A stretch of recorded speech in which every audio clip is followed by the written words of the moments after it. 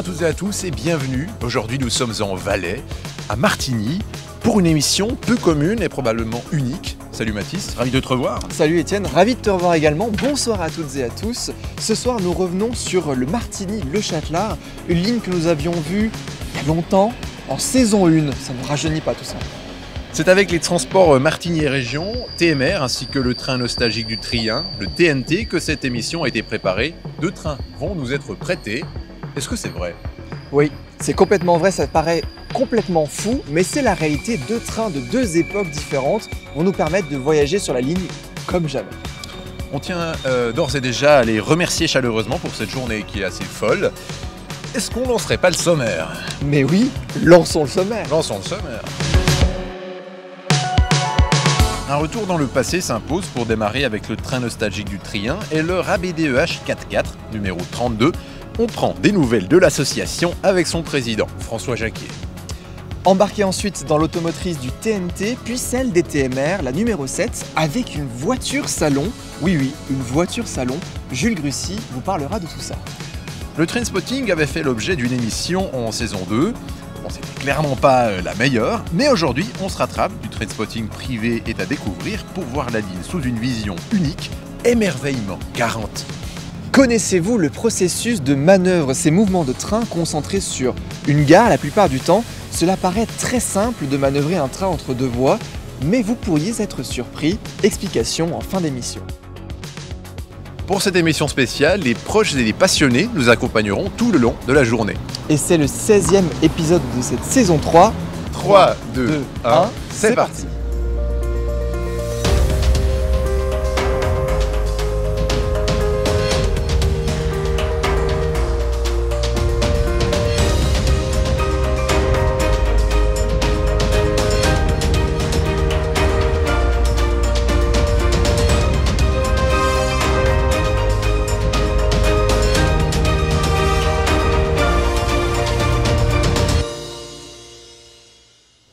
Et avant de démarrer cette journée, nous souhaitions vous présenter les coulisses de préparation de cette émission. Afin de faire circuler deux trains spéciaux au milieu de trains en service commercial, en service régulier, il a fallu créer ce que l'on appelle une mise en marche. C'est le document que vous découvrez actuellement à l'écran qui a été échangé entre les TMR, le TNT et Raywan. Après avoir arrêté les sujets de cette émission, un horaire spécial pour nous a été établi avec ce que nous appelons des numéros de train. Ces numéros sont un petit peu la carte d'identité temporaire de nos trains. C'est eux qui permettent de savoir pour l'humain et la machine quel train va où et à quelle heure. Dès lors que le train a fait son trajet du point A au point B, le numéro de train, on va dire, s'efface ou est changé par un autre numéro de train pour un autre trajet. Dès lors, ces numéros sont obligatoires pour circuler sur la ligne, mais il y a une exception, notamment pour les mouvements de manœuvre, mais ça, on voit ça en fin d'émission.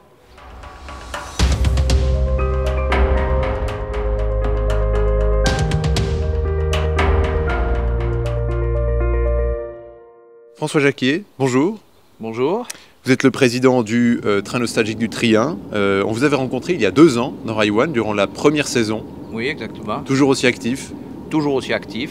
Vous aviez même participé aux 175 ans euh, du chemin de fer en ouvrant vos locaux au public. Euh, comment est-ce que se porte euh, le TNT depuis deux ans? Le, TNT se porte toujours bien. On a eu beaucoup de succès dans cette fête des 175 ans qu'on a organisée en collaboration avec les TMR. Il y avait porte ouverte dans notre dépôt où nous nous trouvons actuellement et dans le dépôt des TMR à Verneillat.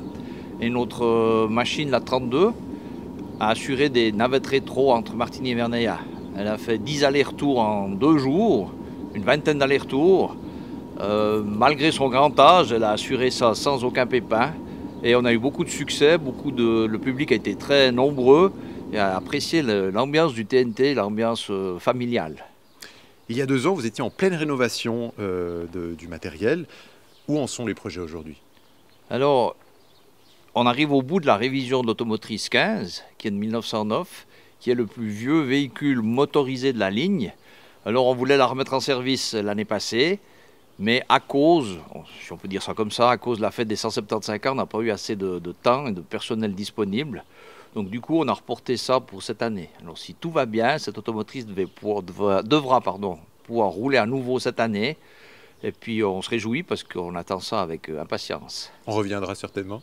Mais avec grand plaisir. Nous allons voyager entre Martigny et Vernaya dans quelques instants avec votre ABDH 44 numéro 32.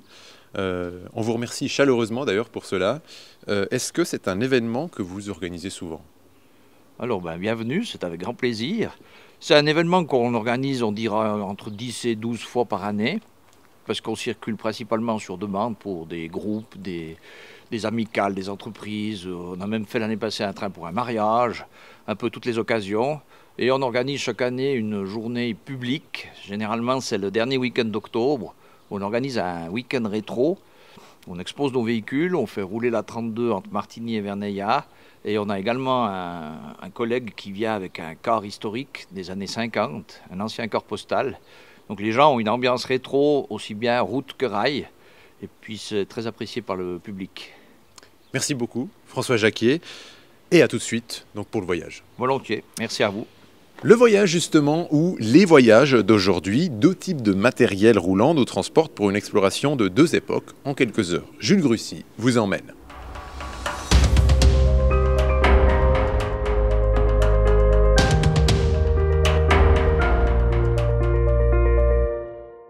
Aujourd'hui, nous allons découvrir deux trains, cette ABDEH 4432 et nous allons également découvrir les BDEH 48 DTMR.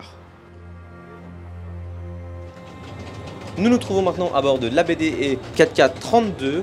Elle est arrivée en 1921 sur la ligne du Martigny-Châteler et était exploitée par les CFF.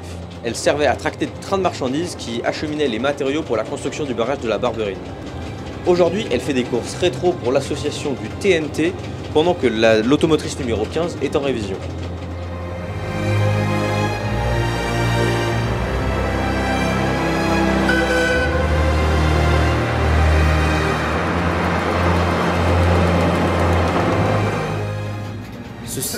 pas ce que vous pensez. Cet objet circulaire muni d'une aiguille n'est pas un compteur de vitesse. Cet appareil est l'ancêtre de tous nos systèmes électroniques de mesure de vitesse. Cet appareil sert donc à mesurer et à enregistrer la vitesse, comme une sorte de baromètre, mais pour la vitesse. Mais en réalité, pourquoi avait-on installé cet objet dans le train? Et d'ailleurs, pourquoi n'est-il présent que dans l'une seule des deux cabines? Tout cela, c'est à cause de la crémaillère. En effet, il ne fallait pas dépasser la vitesse de 16 km/h dans la descente. C'est d'ailleurs pour cela qu'il n'est présent que dans une seule cabine, car le problème de vitesse se posait uniquement à la descente. Et puisque l'automotrice était toujours dans le même sens, il n'était donc pas nécessaire d'équiper les deux cabines de cet instrument de mesure.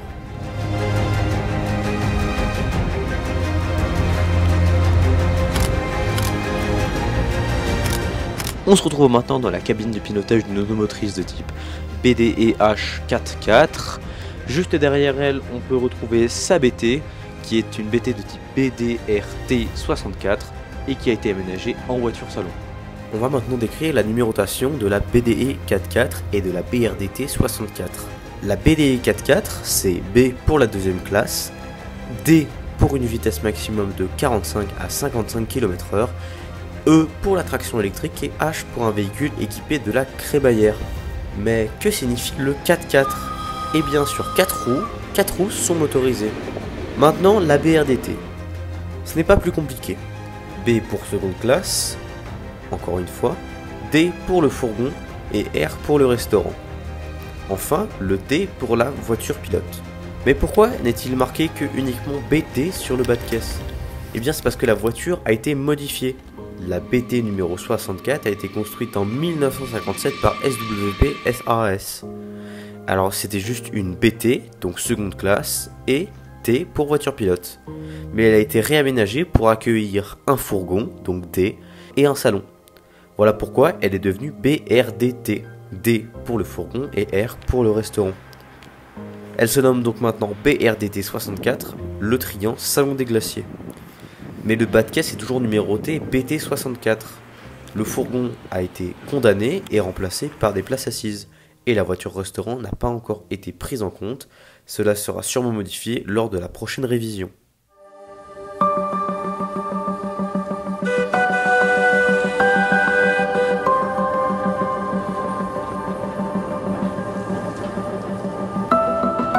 Il est l'heure maintenant de ranger la Grande Dame 32 dans le dépôt du TNT pour passer à la suite de l'émission.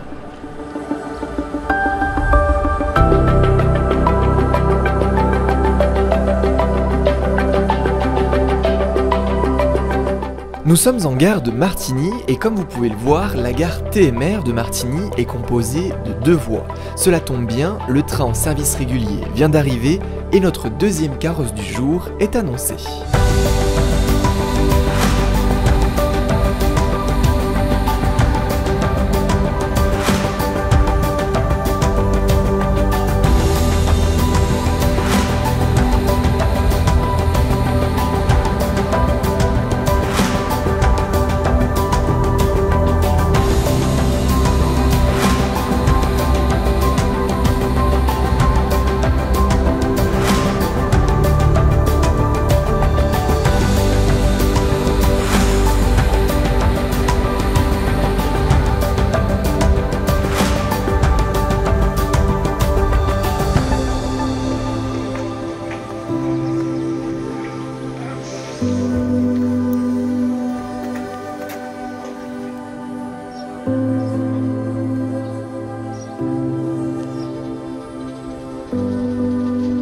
Cette journée était aussi l'occasion pour nous de faire du train spotting privé. Cette pratique qui consiste à prendre en photo le train le plus spécial dans un environnement ou un paysage tout aussi spécial.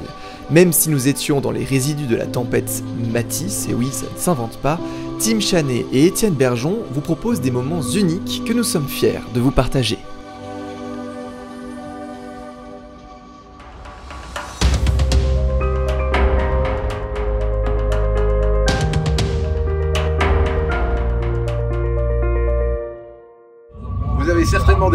Personnes avec des gilets, euh, bon des fois pas, mais la plupart du temps avec des gilets qui sont au bord des voies. Mais qu'est-ce qu'ils font En fait, ils prennent des trains euh, en photo, en vidéo, et puis on va découvrir ça, parce que même pour moi c'est un peu inconnu. Donc voilà, bienvenue dans l'émission.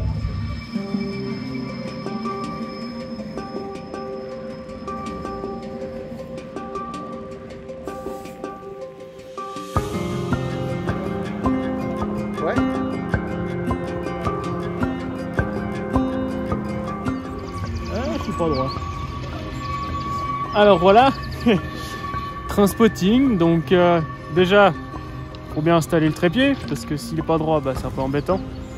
Et puis après, il faut qu'on regarde aussi si dans les deux côtés on a une belle vue, c'est mieux. Ça nous permet de faire une vidéo plus longue et plus intéressante, notamment là vu qu'on a une belle courbe.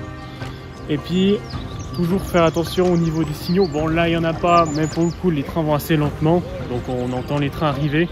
Donc là on va gentiment se préparer pour le prochain train qui arrive. Et puis on va faire une jolie parabole afin d'avoir toute la courbe avec le train dessus. Voilà. Bien sûr, n'ayez pas peur, il y a des règles de sécurité assez strictes. Il faut des bonnes chaussures, un gilet orange, du moins assez visible, une certaine distance de sécurité des voies, et puis bien sûr, le train doit circuler à une vitesse faible. Et puis bien sûr, d'autres détails. Très importants. On peut le dire, le train spotting privé est un privilège. Le train va presque où nous voulons aller et il revient nous chercher. On fait quasiment ce que l'on veut avec. Nous avons pu faire notre première photo dans la courbe des marais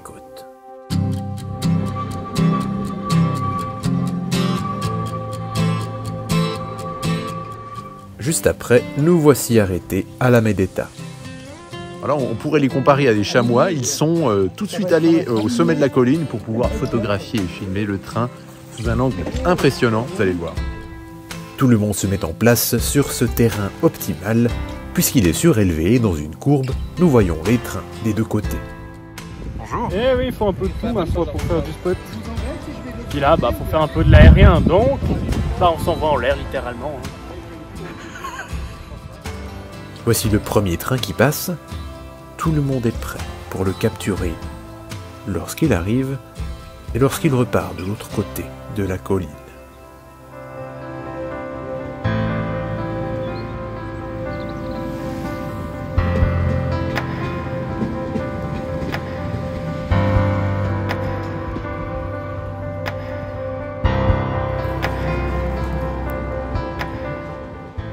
Il part mais il va tout de suite revenir pour rechercher tous les gilets oranges et les ramener à un autre endroit fabuleux. Ouais, voilà. Alors, euh, un front shot, c'est une photo prise exactement en face du train. C'est-à-dire que quand on prend la photo, on voit seulement l'avant du train et on ne voit pas le côté du train. Et là, pour ceux qui ont éventuellement raté leur photo ou qui veulent encore en faire une, le train a même sifflé de son plus beau sifflet.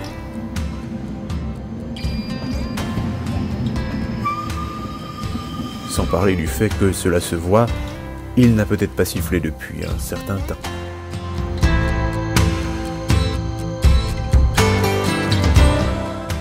Notre chauffeur vient nous rechercher pour partir sur un autre point de spotting et bien sûr, comme à chaque fois, à la clé, des magnifiques photos comme ces deux-là. Christophe Boré, bonsoir. Bonsoir Étienne. Pourquoi est-ce qu'on a construit une ligne euh, ici? Eh bien, parce que Martigny a de tout le temps été un carrefour important. Martigny dans la vallée du Rhône, sur la ligne du Simplon, euh, mais avec euh, ses routes par le col du Grand Saint-Bernard en direction de l'Italie ou par les cols de la Forclaz et des Montets en direction de la France. Dès le- les années euh, 90 euh, du 19e siècle, plusieurs projets ont vu le jour pour essayer de construire une ligne. Et parallèlement, en même temps, du côté français, on avait aussi la, compagnie du PLM, le Paris-Lyon Méditerranée, qui a souhaité construire une ligne euh, par euh, Chamonix en direction du Châtelard. Et euh, les deux projets se sont heureusement mis d'accord, mis d'accord sur un certain nombre de standards, écartement métrique, sur le profil de la ligne et sur une alimentation électrique par troisième rail. Justement, ce troisième rail, il n'est pas fréquent sur beaucoup de lignes. Euh, Est-ce qu'il a été présent sur euh, le 100% de la ligne? Non, c'est effectivement quelque chose de très rare en Suisse, le troisième rail. Euh, et sur cette ligne, c'est essentiellement dû au parcours montagneux, au manque de place. Ça permet de réduire aussi le profil d'espace libre. Par contre, le Martigny-Châtelard avait aussi un rôle de tramway en ville de Martigny. Euh, il est- depuis Vernaya et en ville de Martigny, il fonctionnait comme tramway. Et dans ce- cet endroit-là, il a été dès le départ équipé d'une caténaire. La ligne circule aussi bien en Suisse qu'en France. Est-ce que ça a toujours été le cas? Eh bien, euh, non, ça n'a pas toujours été le cas. Euh, c'est avec l'arrivée du matériel roulant en 1957, d'ailleurs ce matériel date de cette époque-là, euh, qu'ont commencé les relations internationales. Dans la première année avec un train complet qui faisait la liaison entre la Suisse et la France, mais ensuite pendant très longtemps c'était uniquement une automotrice suisse qui était euh, accrochée à un train français. C'est uniquement euh, depuis 1997, avec l'arrivée des automotrices Z800, euh, que la liaison a été exploitée euh, de manière régulière sous le nom de Mont Blanc Express. Est-ce que la ligne a aussi vu passer des trains marchandises? Oui, alors en effet, dès le départ, il y a autrefois, il y avait toujours un petit peu de train marchandises avec le, tra- le trafic de voyageurs, mais il y a surtout un, un boom dans les années 1970 avec euh, la construction du nouveau barrage des Mossons, pour lequel beaucoup de trains ont été utilisés pour transporter du, du matériau, trains de chantier, etc. Merci beaucoup, Christophe. Belle soirée et à bientôt. À bientôt. Merci. Après l'histoire de la ligne, voici les gorges du Triège et le viaduc du même nom, au Trétien. On nous dépose ici pour une trentaine de minutes.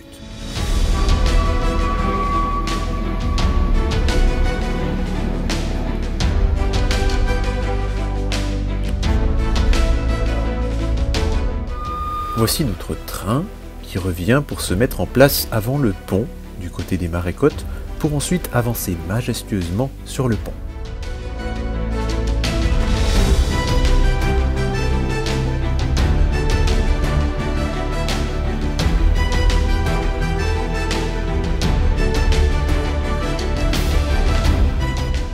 Voici les quelques photos prises, il y en a des dizaines.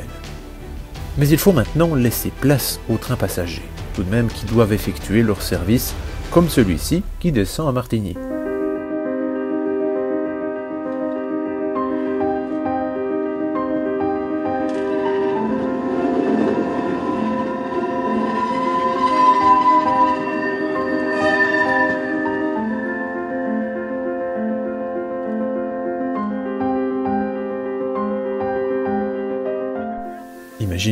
Le nombre de minutes qu'il faut attendre pour capturer le train voulu et bien sûr réussir son coup car après, eh bien, c'est plus compliqué de le revoir. Nous voici repartis pour notre dernier point de spotting de cette émission.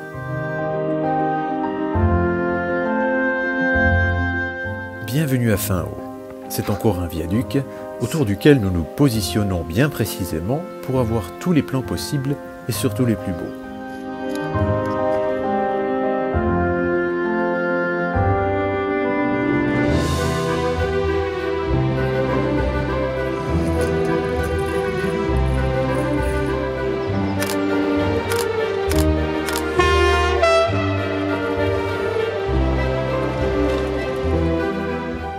Voyageuses et certains voyageurs nous ont aperçus depuis les fenêtres de ce train qui les menait en direction de Martigny.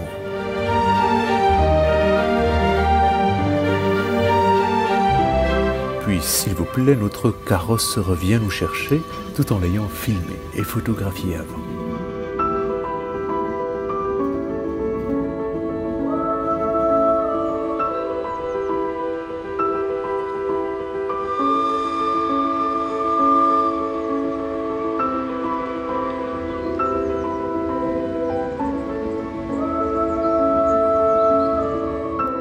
Et voilà les œuvres photographiques. Mais dites-moi, c'est fin beau, fin haut? En gros, dans le train spotting, il y a euh, à peu près deux types de personnes. Il y a ceux qui spotent depuis les gares, donc à l'arrêt, avec des trains qui sont la plupart du temps arrêtés, et les autres qui sont un petit peu moins flemmards, on peut le dire, qui vont dans les champs, qui trouvent des endroits euh, fameux de spotting des fois, ou bien simplement qui les dénichent. Et puis depuis là, ils essayent de trouver les trains à photographier selon euh, leur intérêt. Donc voilà, il y a ces deux catégories-là, et moi franchement, j'aime bien être dans les gares. Nous sommes arrivés au Châtelard-Frontière, gare terminus pour notre trajet. Nous allons redescendre dans la vallée. Mais cette gare a aussi une autre particularité, c'est la toute dernière avant de passer sur le réseau géré par la France. Oui, le Mont Blanc Express est une ligne internationale gérée par les transports Martigny et Région sur la partie suisse et gérée par la SNCF, la portion française. Mais avant de redescendre dans la vallée, nous allons effectuer des mouvements de manœuvre. Et ça, c'est parce qu'il faut siffler sur le circuit français. Un mouvement de manœuvre, c'est tout simple, hein, c'est bouger avec le train pour par exemple changer de voie dans une gare. C'est ce que nous allons faire de la voie 1 à la voie 2. Cela paraît très simple, mais vous allez voir, il y a un processus bien défini. Explication sous les yeux et caméra de toute l'équipe, séquence technique.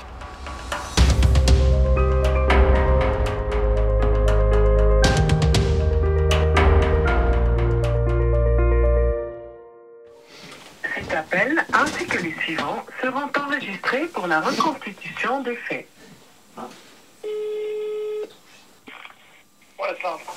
Nation à la frontière, j'aimerais manœuvrer de la 1 à la 2, s'il te plaît. Oui.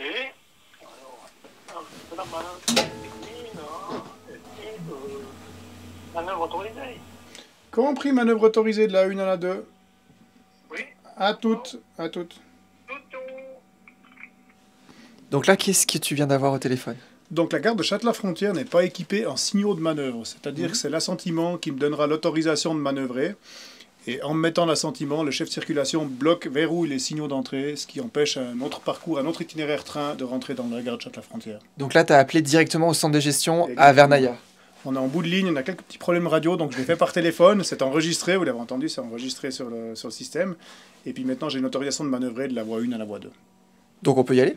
On peut y aller. Alors c'est parti Sur ce, sur ce, sur ce type d'engin qui est un peu plus, en- un peu plus ancien, on ne peut pas euh, manœuvrer, franchir un signal d'arrêt, un signal à l'arrêt, sans se faire planter par la automatique, sans se faire prendre en charge. Oui. Du coup, j'ai isolé le système Integra, qui Oui. me permet maintenant de faire une manœuvre et je le remettrai en service avant le départ du train tout à l'heure. Et du coup, si la sécurité est enlevée, tu as une vitesse limite, je pense, à ne pas dépasser? J'ai une vitesse limite réglementaire, mais qui n'est pas contrôlée par le véhicule. Oui. Ah, d'accord. La vitesse de manœuvre en gare chez nous, c'est 10 km/h. 10 km/h. Ok.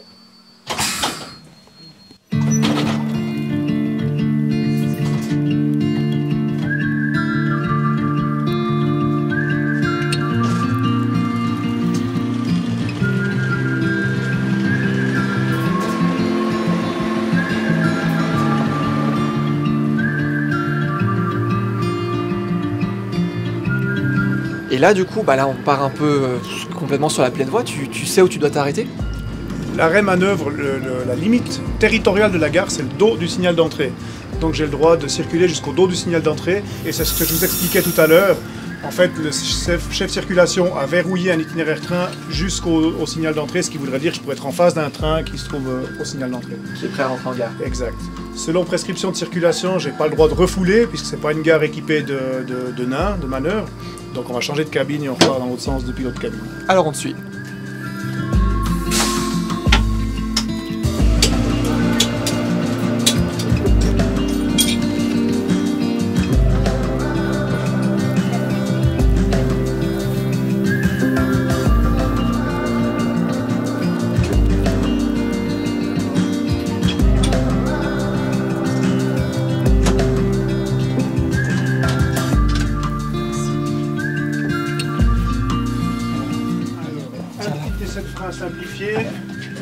Cabine pour s'assurer que sur la voie de but je vais pouvoir m'arrêter. Ça, c'est le frein à air, c'est ça que tu as Ouais, exactement. Ouais, l'action sur l'aiguille 1 à Châtelard, est-ce que tu me confirmes que le parcours est bon pour la 2 Ah voilà, c'est tout bon pour la deux. Compris, parcours bon pour la 2, merci. À toutes. Et donc tout ce qu'il te dit, tu dois le répéter obligatoirement? Exactement. C'est la preuve que j'ai compris et puis euh, que la communication a été. qu'il n'y a pas eu de malentendu entre l'interlocuteur et la circulation.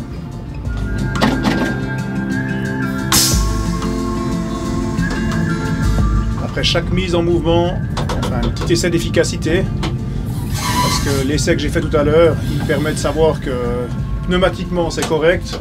L'essai d'efficacité me permet de sentir comment réagit le véhicule par rapport à l'état actuel du frein.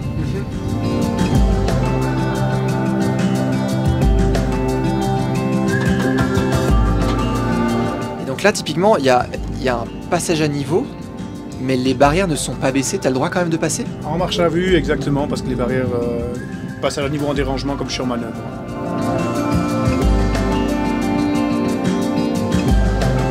Ça arrive souvent des, des mouvements de manœuvre à Châtelard-Frontière ou ailleurs sur la ligne? Sur les trains réguliers, absolument pas. Par contre, ça arrive sur les manœuvres et les trains de chantier. Les trains de chantier plutôt, pardon. Bip qu'on vient d'entendre. C'était la marche rapide. Si je lâche la pédale euh, de mort, ah, j'ai 5 secondes pour quittancer, faute de quoi le train s'arrête par un, signe- par un, un serrage rapide. Ok. Et voilà.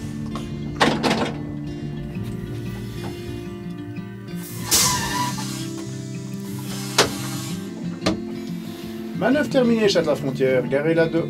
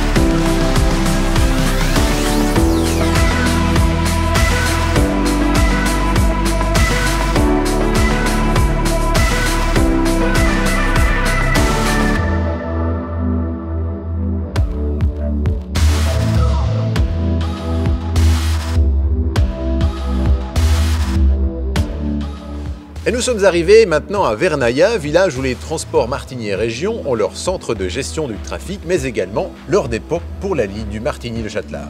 Et on tient bien sûr à remercier chaleureusement toutes les personnes qui ont contribué à la réussite de cette émission. À toutes et tous, un grand merci pour votre soutien, votre confiance envers cette émission unique au contenu toujours plus original. Dans deux semaines, c'est toi, Mathis, qui accompagnera les téléspectateurs. Ce sera notre traditionnel rendez-vous annuel au Tessin, cette fois-ci sur la ligne Lugano-Ponte Tresa, ligne dans une région touristique mais essentielle au trafic des pendulaires. Vous verrez. Et on vous souhaite à toutes et tous une excellente soirée et à très vite dans... Ciao Bonne soirée